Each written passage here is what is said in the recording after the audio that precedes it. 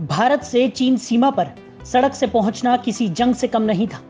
रक्षा मंत्री राजनाथ सिंह ने video conferencing के ज़रिए चीन सीमा के लिए बनी घट्टा बगड़ लिपू लेक सड़क का ऑनलाइन उद्घाटन किया। लेकिन बता दें कि कई कठिनाइयों के बाद मजदूरों ने इस मुकाम को हासिल किया है। चीन सीमा पर लिपू लेक के लिए 1999 से सड़क का निर्माण किया जा रहा था। तवाघाट से लिपू लेक तक कुल पिचानवे किलोमीटर सड़क की कटिंग का काम पूरा हो गया। तवा घाट से गर्भाधार तक 2008 में ही सड़क का निर्माण पूरा कर लिया गया था। 2014 के बाद सड़क निर्माण में काफ़ी तेज़ी आई। तवा घाट से गुंजी तक कठिन चट्टाने होने के कारण सड़क निर्माण में काफ़ी मुश्किलें सामने आई। लखनपुर और नजंग की पहाड़ियों को काटना बेहद मुश्किल था। इन चट्टानों को काटने में पिछले 10 सालों में ग्रिफ के एक जूनियर इंजीनियर दो ऑपरेटर और छह स्थानीय मजदूरों को अपनी जान गंवानी पड़ी। करोड़ों की मशीनें भी इन्हीं चट्टानों में दफन हो गई थी। ग्रिफ के अधिकारियों के अनुसार, सड़क निर्माण के दौरान पैंसठ लाख की लागत का डोजर 2.5 करोड़ रुपए की डीसी 400 ड्रिलिंग मशीन 40 लाख रुपए की वैगन ड्रिल मशीन सहित कई मशीनें नष्ट हो गई थी। चीन सीमा तक बनी घट्टा बगड़ लिपुलेक सड़क पर करीब 408 करोड़ की राशि खर्च हो चुकी है।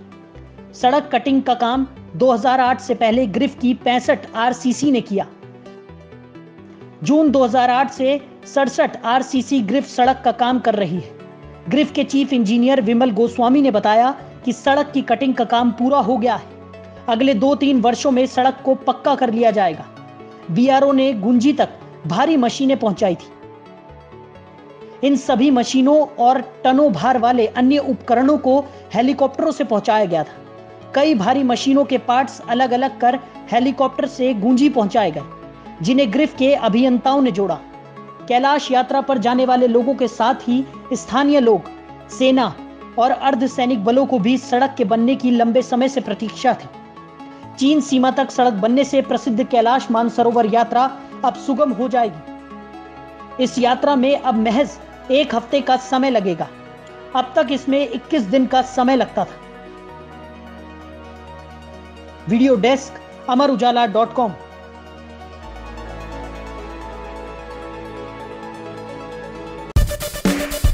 Amar Ujala group का media school, the Aarohan media school, यानी टैम्स दे रहा है सुनहरा मौका।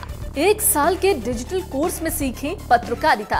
कोर्स में सफल हुए छात्रों को मिलेगा प्लेसमेंट। अगर आप ये वीडियो YouTube पर देख रहे हैं तो हमारे चैनल को सब्सक्राइब करें और बेल आइकन को दबाना ना भूलें। अगर आप Facebook पर ये वीडियो देख रहे हैं तो हमारे पेज को लाइक करें।